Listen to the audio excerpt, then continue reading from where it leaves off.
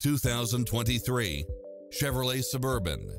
This SUV offers space as well as power and performance.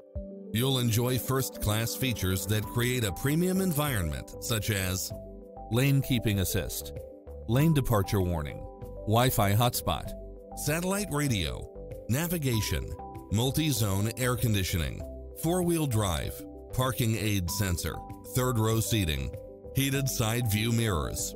Visit our dealership soon and start driving today.